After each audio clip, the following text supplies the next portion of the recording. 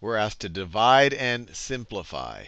And we have one radical expression over another radical expression. The key to simplify this is to realize if I have the square, the principal root of x over the principal root of y, this is the same thing as the principal root of x over y. And it really just comes out of the exponent properties. If I have two things that I take to some power, and taking the principal root is the same thing as taking it to the 1 half power, if I'm raising each of them to some power and then dividing, that's the same thing as dividing first and then raising them to that power.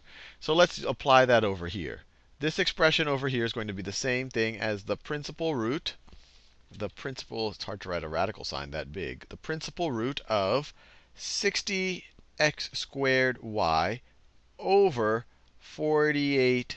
48x.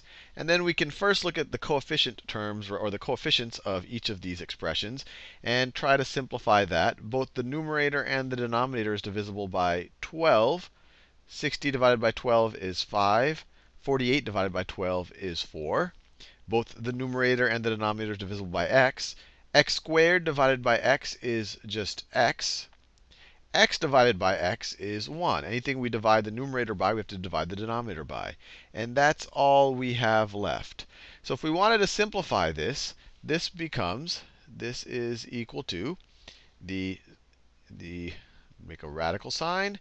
And then we have 5 fourths, 5 fourths 5 fourths, and actually we can write it a slightly different way, but I'll write it this way. 5 fourths, and we have nothing left in the denominator other than that 4. And in the numerator we have an x and we have a y.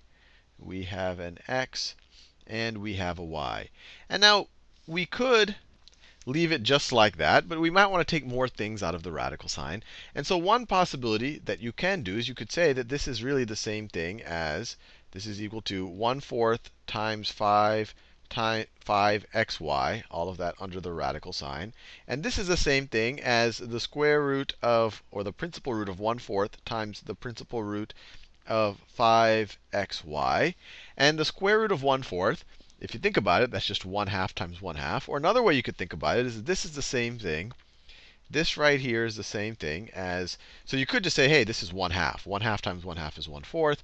Or if you don't realize it's 1 half, you say, hey, this is the same thing as the square root of 1 over the square root of 4. And the square root of 1 is 1.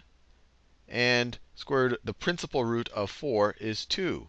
So you get 1 half once again. And so if you simplify this right here to 1 half, then the whole thing can simplify to 1 half times the principal root, I'll just write it all in orange, times the principal root of 5xy. And there's nothing else that you can really take out of the radical sign here. Nothing else here is a perfect square.